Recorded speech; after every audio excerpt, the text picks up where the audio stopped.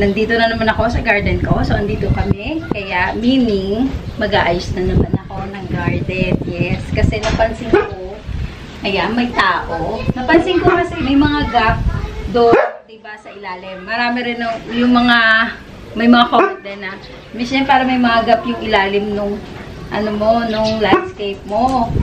So, sinadya ko talaga na maging ganun siya nung una.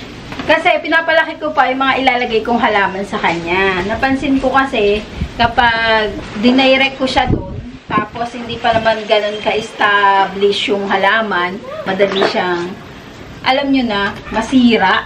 Ganon. Parang sa lugar niya rin. Na lagi, lagi ko kasi dinidiligan tong part na to. Kaya, yan, nag, ah, ano pa ako ngayon, nag adjust natututo, learning, learning pa, ganon, ha. Kaya, yung napansin ko, ah, kailangan na ilagay na halaman dito is yung okay lang na lagi nadidiligan, okay lang din na naiinitan. Kaya dito, napansin ko, kailangan tanggalin ko tong si anthurium na to, na brownie eye.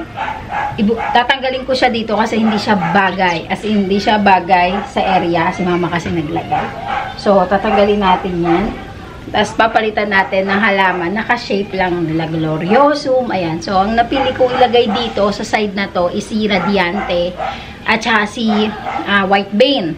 Para, ay, si Sibra na lang. Kasi medyo carry na ni Sibra. Malaki-laki na si Sibra. Si Flow Money ay, medyo i-adjust ko lang. Ah, siguro okay na dito si Brownie ah. Eh, si ano, si Flow Money. Ang ilalagay ko na lang dito sa gilid eh si Dark Form. Tingnan natin. Kasi medyo malaki na si Zebra. So, adjust-adjust natin. Kaya, samahan nyo ako para ayusin dito. So, ayusin lang natin ito. Pero kailangan kasi, alam nyo, kailangan nyo matutunan na magkakaroon pa rin ng gap. Kailangan meron pa rin gap sa area. Para naman, ano, yung mga halaman na pagapang, kaya pa nilang medyo gumapang, ha?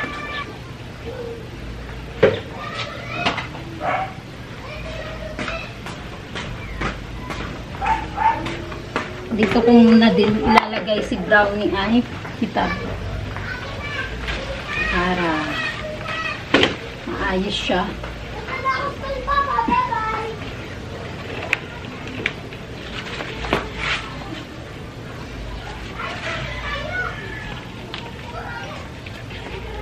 Yan. Si brownie ay carry na. Tapos ang ilalagay natin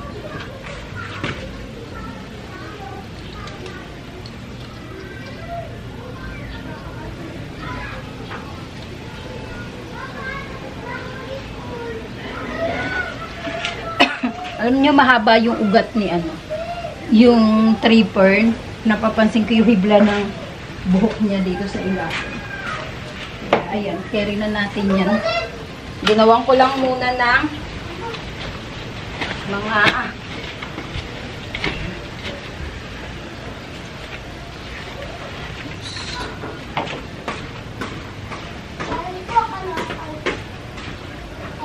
Diyan ko kasi ilalagay itong si Radiante para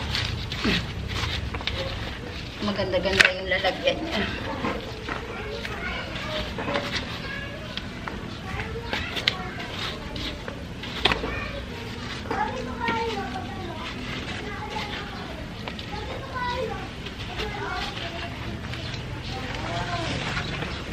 Pull out lang natin siya.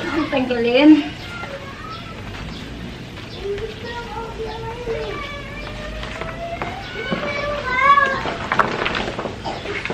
Tignan nyo gaano kalaki yung ano niya, oh. Yung kanya mga ugat. So, dito ko muna siya ilalagay.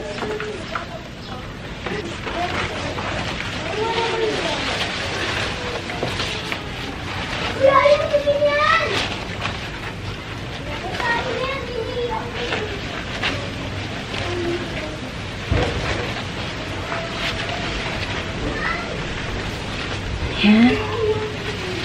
So, so, ang problema ko, medyo sobrang lash niya. Ah, sobrang lalaki niya. So, ikot natin siya dito para andito yung laki niya. diba? Kung iikot man siya, dito siya sa kabila. Mag-a-adjust. So, ayan. Um, mag-a-adjust naman to mamaya sa init. Masyado kasi siyang humaba. Pero etong may sira, gugupitin na natin yan.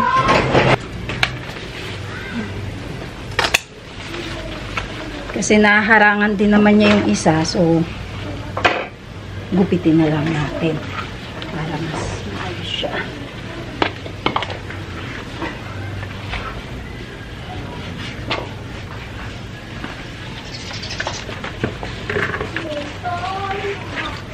So, ayan, yung ginawa natin. Okay-okay naman na siya, 'di ba sa malayo. Ngayon na, oh, kahit papano is naging flash siya tignan. Hindi siya ganun ka awkward na may spacing. Natatakpan naman ng mga space dito yung dahon. Pero, eto, may isa pa akong aayusin. Kasi, yung isang dahon niya, sumegway dito sa kabila. Dapat medyo dito siya eh i-ayos lang natin. Ayan. Para dito siya lumabas.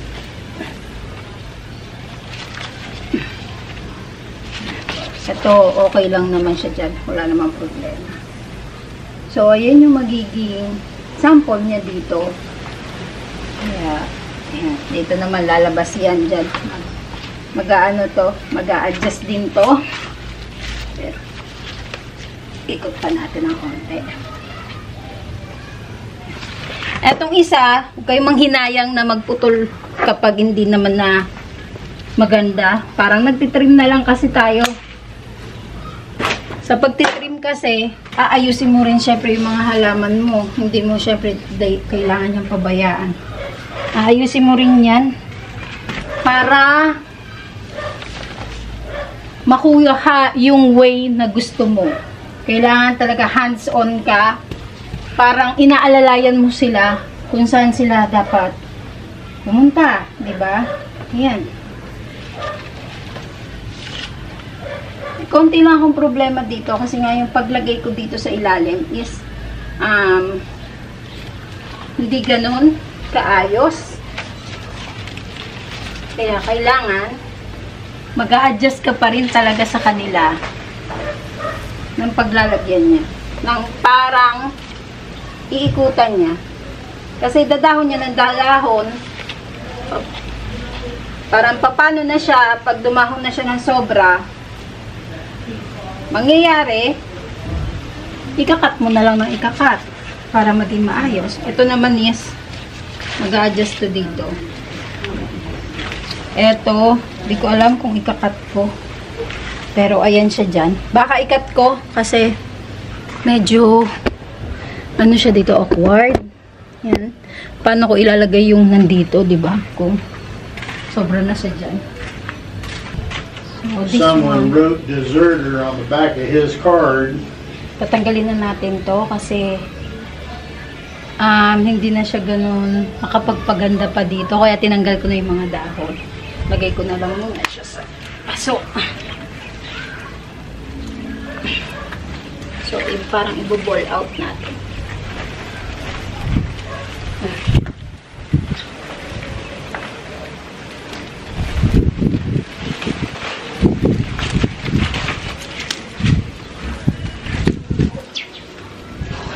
Is that one dead, honey? Kinda. No, I just removed some of the leaves. But, yeah. And, yeah. Oh my god, it looks like a, a no snake. Look, I'm gonna show it to you. The snake hole? Looks like snake to me because it's too big. What? Oh. Can you see it? No, show it to me. Oh, That's an earthworm. yeah, but it's too big. I never Yeah. seen an earthworm. Show it to the camera, look. Sobrang laki. oh. Na- Na-fertilize din siya. ng osmo ko. But I gotta put you here! Those are good for the soil. Mm-hmm. What do you think? Put this big in here or just leave it there? Put where, what? These two. I feel like it's too big in this area. I. But they look good. Yeah, I'd leave it alone. Mm-hmm. You could put some, one of your potted plants over here in the home. Yeah, that's what I also thinking. Ayan kasi naging itsura niya. Naging parang feeling ko super crowded siya. Although ang ganda niya sana tignan, 'di ba? Kasi sobrang lush nila as in. Kaso nangangamba ako paano kapag may bagong suloy na? 'Di ba? So paano gagawin natin? Um, sobrang crowded nila pero sobrang ganda nila pero kailangan din natin syempre isipin yung susunod yung dahon so iniisip ko etong si white beans ko doon ko ilalagay doon doon doon doon yan kasi dito walang masyadong pang dahon dito 'di ba parang awkward yung part na to kaya inisip ko siya ilagay ko yan Oo, 'di ba? Pero ang ganda niya dun. Nakapag-added naman ng ganda yung area dyan, oh. No? Hmm, paano kaya gagawin ko? Ayan ang isa sa mga niisip ko. Paano ang gagawin ko? Try natin dito sa kabila. Eto, etong side naman na to. Ang problema ko dito, iba nga yung display ng halaman ko pag ganun. So, nakokontrol yung palabas na dahon. Sayang, hindi ko nga lang siya medyo pa maiayos kasi ano, may bagong pausbong. Paglabas na lang niya, tsaka ko siya iaayos na maayos na maayos, ha. Ayan. At meron akong space dito. So, ang iniisip ko talaga, yun ang ilalagay ko, si white beans para makapaglaki siya rito. Kapag doon kasi, feeling ko hindi siya talaga lalaki. Hindi siya maglalas ng todo katulad nito. So, tanggalin ko muna. Ayan. Ito, dito ko na lang muna siya ilalagay. Kasi feeling ko, mas gaganda siya dito. Wait lang ha. Makakapag-produce pa kasi siya dito ng mga dahon. Doon kasi, kung lalagay ko siya doon sa areang yun, makokontrol yung pagdahon niya. So, hindi maganda sa plants yun. At, okay naman yung area na to. Wala naman na ako ilalagay dito. Siya na lang. Ayan. Ayan. Diba? Kahit nakalagay siya dun sa kabila. Naka-point out.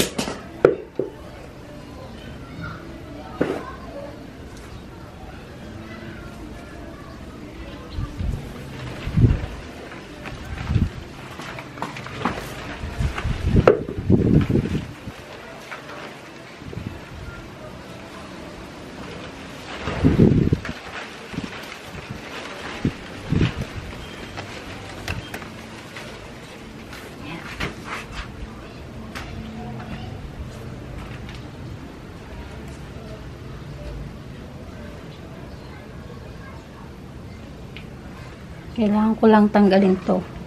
Wait lang. So, for the meantime, yan yung ginawa ko. Ilagay ko lang siya dyan kasi, ano, lagyan ko ng stick para sumunod na ganyan lang siya. sumunod na ganyan. Ah, mag, mag-babe ka dyan.